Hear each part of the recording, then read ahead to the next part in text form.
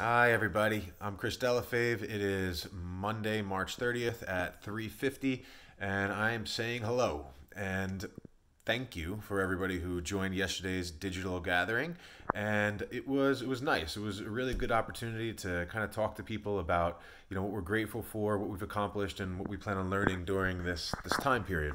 And uh, just continuing suit with bringing unique offerings to people that are optional and totally amazing. Uh, on Wednesday of this week, uh, we're going to be starting a digital wellness variety show. So it's the Wellness Wednesday Variety Show. And it'll be myself uh, and a couple of my other colleagues, teachers, who are joining in from 6 p.m. to 7 p.m. It's geared towards really parents and families in general, uh, but it is more geared towards um, people who want to jump into the space of wellness, anything from uh, breath work to organizing and creating space both physically and emotionally for yourselves during this time. I know if you're anything like me, I have the four year old and two year old that I've told you about before. Creating space physically, creating space emotionally is absolutely important. Um, we're going to be talking some nutrition and cooking tips. We're also going to have people on talking about mobility and movement. Uh, a, a, more robust schedule will be published tomorrow. And uh, I just hope that you chime in for that. That's from 6 to 7. Again, if you can only sign in for 20 minutes, each one of these segments is 15 minutes in length. So if you can sign on for 15 minutes on one of the subjects that you want to hear, awesome, phenomenal. Um, and just just to kind of keep going off this growth mindset series so all of that wellness wednesday stuff will come right? I'm to put some more information into it in the herald so you'll be able to see it. But just to kind of talk a little bit more with you guys about um, this growth mindset you know this umwelt the the idea of your perception. Um, i want to share a book that i read um, this past year uh, actually it was a year ago almost this month and it is it's upside down or backwards i know but it is uh, Man's Search for Meaning by uh, Viktor Frankl. Viktor Frankl is a Holocaust survivor, uh, a psychiatrist, uh, and somebody who is truly uh, worthy of revisiting during this time. And it is. It, it's a really fascinating message, and I'm going to kind of prop you up here so I can grab the book. Um, I know it goes in and out with the, the, the light in the background, but just to kind of give you a, a sense of what Viktor went through, uh, he he one again. He was a Holocaust survivor from 1942 to 1945, um, and he was in four different concentration camps. His his uh, you know his his wife, his brothers, his parents, none of them survived, but he did.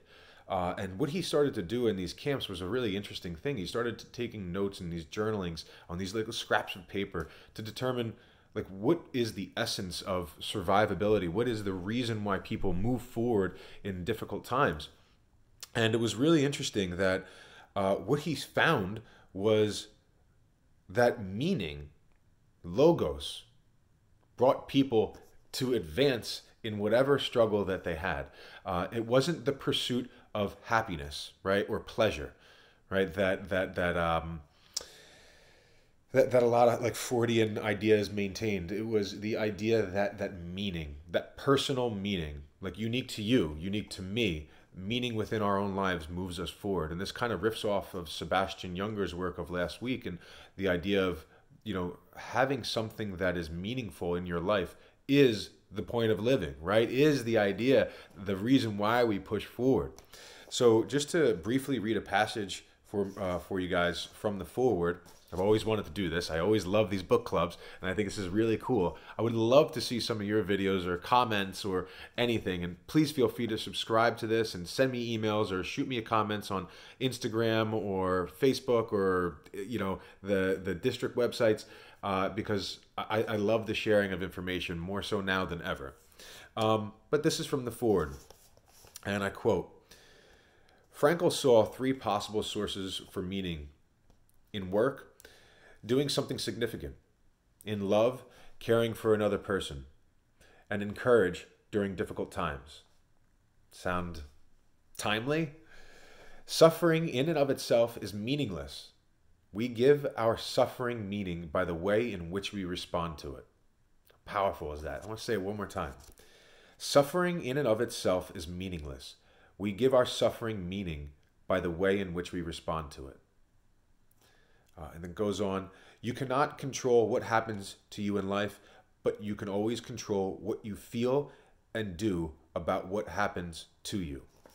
So these are pretty powerful words from a uh, an even more powerful man, and these uh, these concepts are, are timely, right? They're they're timeless. And so I hope that brings you uh, a little bit hope uh, closer to kind of looking inward and being aware of, of, of the times that we're in and, and how to appreciate them as, as well to as well as how to feel during them. I hope to see you all during our Wellness Wednesday on Wednesday at 6 p.m. Again, more information will be coming out on that. And I do hope to hear from you. Please feel free to shoot me an email, subscribe, send me comments, and uh, talk soon. Have a good day.